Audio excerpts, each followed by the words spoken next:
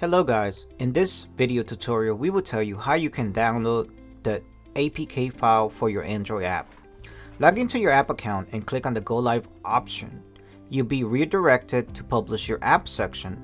Here you will see options for publishing your app on Android Store and iOS Store. Now click on the Publish button under the Android option and you will see the instructions for publishing your app on the Android Store.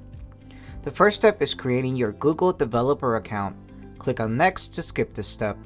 Now in the second step, you have the option to download your APK file. Let's download the APK file. Click on the download.apk file button to download the app build. Just to inform you, if your app is being rebuilt, it will take a few minutes after which you can download your APK file. You will also receive a notification mail once your APK file is ready to be downloaded. Meanwhile, here you will see your build is in progress button. Once your app has been rebuilt, this button will change to download.apk file button.